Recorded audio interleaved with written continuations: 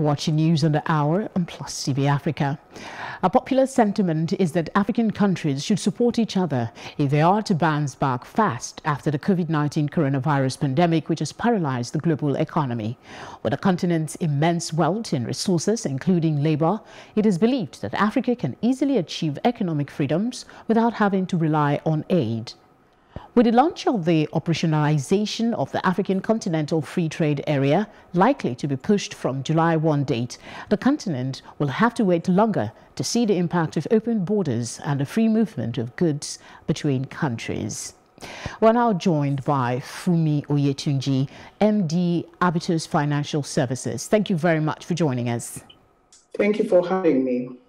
Okay, th there are some familiar statements I would like to get uh, some contextualization. Now, the African countries should support each other if they are to bounce back fast after the COVID 19 uh, pandemic, which has paralyzed the global economy. Why is this not a given that we should support each other? Well, uh, apart from the political will, let me first of all say that the pre existing conditions of weak economies, spiraling sovereign debt, and deficient infrastructure means that most of the African countries, especially the sub Saharan ones, um, have felt and will each feel the post COVID 19 impact in a different way from the first world, where they have capacities and institutions that would help them flatten the effect of COVID 19. It is therefore likely that it will be each country to their own, as the problems will be different in each country and will be differently managed. Unfortunately, managed without uh, proper cohesion of policies. So each country would be dealing with their own problems. So the support of other countries will be difficult and should not really be expected. Okay, uh, the continent has immense wealth and resources, including labor. Uh, first, it can easily achieve economic freedoms without having to rely on aid. That's another um, quote you would like some, you know, understanding. Is it, is it really that so? Oh, well, um, that's the theory. We have immense wealth in resources and labor. But the reality is that to tr transform such resources and labor to the achievement of development and economic freedom requires long term planning and good governmental structures and institutions to ensure continuity of implementation. That is lacking here, as you know. Um, leadership, there's a shortage of committed and expert managers of economic development. Also, uh, for our immense wealth in resources and labor, to transform to economic um, gains, we need leaders who would negotiate well on the World Trade uh, platform for, for, for, for Africa. But we actually don't have such leaders, either because of lack of expertise or indeed corruption, where people negotiate for their own vested interests rather than for the continental and for their countries. Why is it that we're still talking about proposition more than 60 years after independence? What more will it take to get things moving? You see, uh, the journey of 60 years started on one day. And um, what would help or what should have helped should have been visionary leadership who would have known that we came out of colonialism and who would have been able to plan, you know, five year plans 20 year plans, 30 year plans, and 60 year plans with uh, a vision of uh, arriving at today in a better form. But you and I know that that has been lacking in our leadership.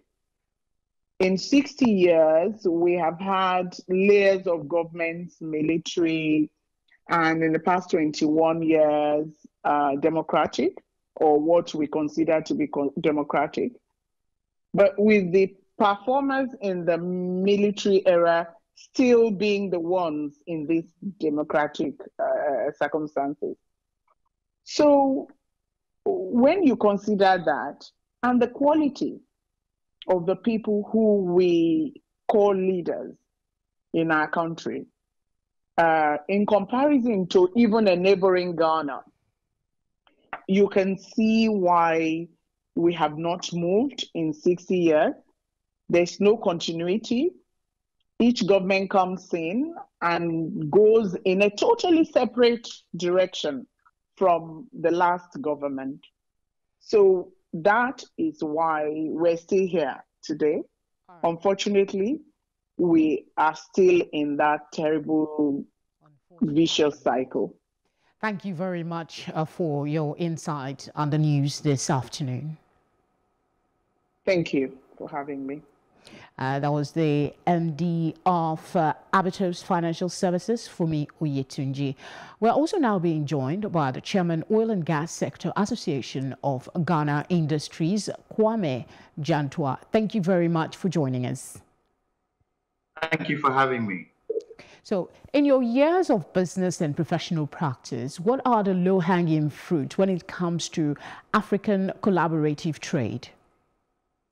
Well, much of inter-African trade consists of uh, consumables, food, drinks, tobacco, sugar, cattle, textiles, and even textiles, we're getting it from India and China.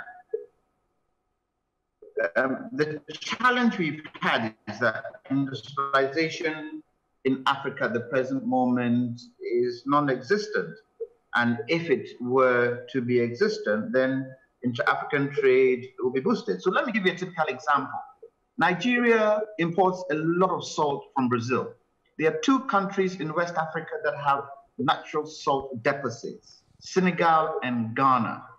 And we haven't developed our salt industry here.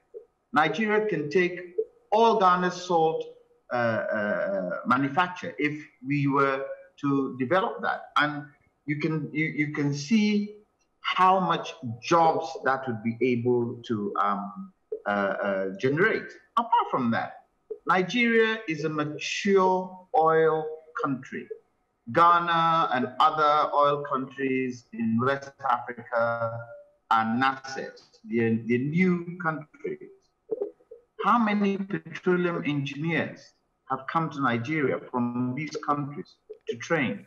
No, we go to America, we go to Britain, and in that way, that's capital flights going. And so we really haven't been able to get this union together. I'll give an, another example. Nigeria at the present moment is doing 200, uh, 200 uh, million barrels a day, 2 million barrels a day of oil. But where do we get our refined petroleum products from? We import. So we send our crude over to Europe and America and other parts of the world, and they sell it back to us in refined petroleum products at a higher price. And not until we are able to make sure that we can get this in place, the low hanging fruits will never come to us. Then I ask the question we have the AU.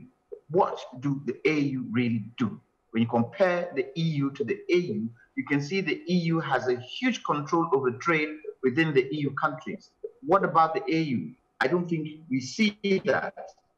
And so it's it's going to take some time and it's going to take a lot of Okay, I, I think the audio is getting bad. Can you hear me? As Funke rightly Mr. said, it's going Mr. to take Jantuah, can you hear me? Who have I can hear you.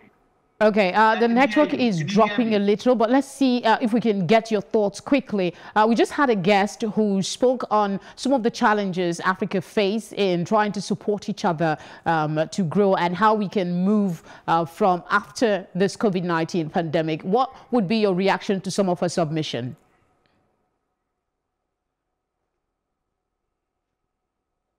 I think we have to come together to be able to make sure that the resources that Africa has, we can use it effectively. Because one of the major challenges we have in Africa is lack of financing. And I don't think Africa needs to go out there to look for billions of dollars. We can generate those billions of dollars here in Africa if we cooperate and work together. Africa has 30% of the world's natural resources.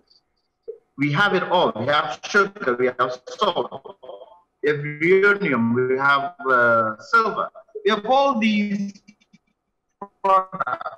I don't understand why we can't work together to, to generate the kind of incomes we're looking for to make Africa grow.